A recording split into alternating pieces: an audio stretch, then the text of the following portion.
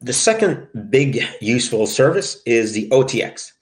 So OTX is the uh, the Open Threat Exchange exchange, uh, and that is from uh, Alien Vault.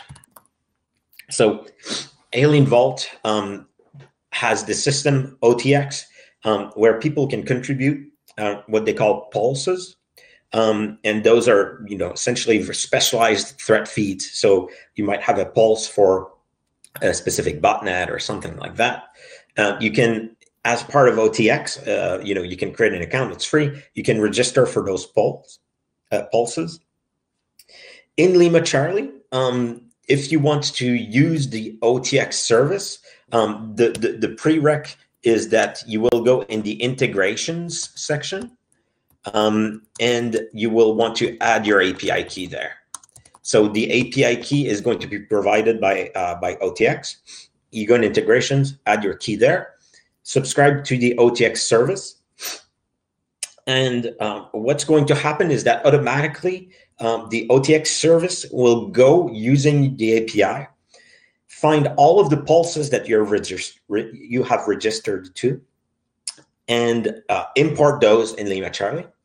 And it also has uh, D&R rules, so detection response rules, um, that are generic for the various types of pulses. So if a pulse is like hashes or um, you know domain names, it will create the relevant rule to look for you know to match those those feeds with the data coming from your endpoints in LimaCharlie. So for example, um, if you have a feed that are hashes, um, it will look for those in the code identity event, um, which contain you know a bunch of different forms of uh, of the hashes.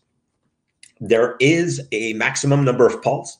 Um, again, kind of remember that in uh, in LimaCharlie, um, everything that we do is uh, is done wire speed, meaning um, when you have a D&R rule, it must be able to run in real time. You know, it's not something that we can go and say, okay, look at the past year of data and um, you know uh, start parsing that kind of in real time. That's just not possible. Um, so uh, we have services that allow you to do that, like the replay service, if you want to do that specifically uh, replay old historical telemetry. But in this case, we limit it to about 200 pulses, where we grab all of the indicators of compromise in there, convert them to feeds, add D&R rules, and apply them automatically to your organization.